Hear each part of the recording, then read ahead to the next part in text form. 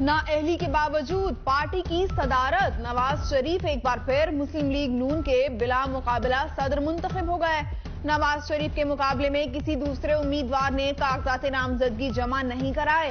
نواز شریف چار سال کے لیے پارٹی صدر منتخب۔ الیکشن کمیشن نے نون لیگ کا انتخابی نشان شیر بھی بحال کر دیا۔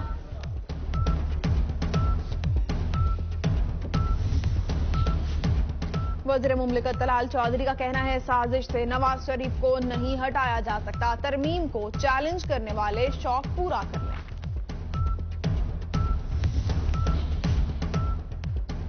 کنونشن سینٹر میں لیگی کارکنوں کا پارا ہائے۔ ایک دوسرے سے گتھم گتھا۔ کارکنوں کی زبردستی ہال میں داخل ہونے کی کوشش۔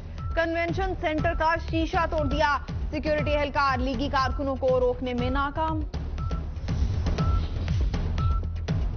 کل قومی اسمبلی میں منظور ہونے والا انتخابی اصلاحات کا بل، لاہور ہائی کورٹ میں چیلنج۔ پاکستان عوامی تحریک کی جانب سے بل کو کل عدم قرار دینے کی استدا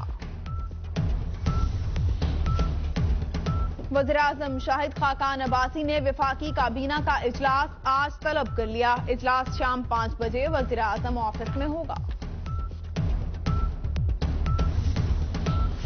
سپریم کورٹ میں عمران خان نااہلی کیس کی سماعت آج ہوگی۔ حنیف عباسی کے وکیل اکرم شیخ دلائل دیں گے۔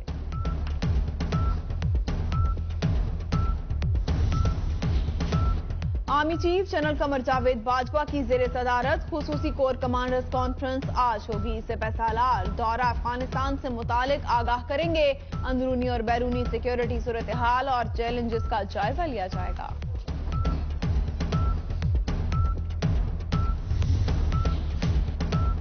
ایل او سی پر بھارتی فورسز کی بلا اشتعال فائرنگ، ایک شہری شہید اور چار افراد زخمی۔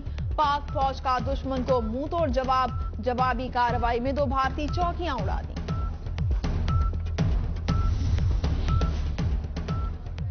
مقبوضہ کشمیر سری نگر میں بی ایس ایف کیمپ پر مبینہ حملہ۔ متعدد اہلکار زخمی، بھارتی فوج کا دو حملہ آوروں کو مارنے کا دعویٰ۔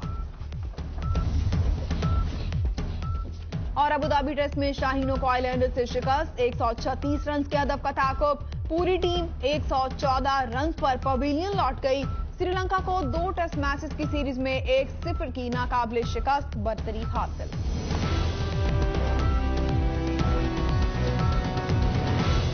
فور نیوز، باخبر، چوبیس گھنٹے۔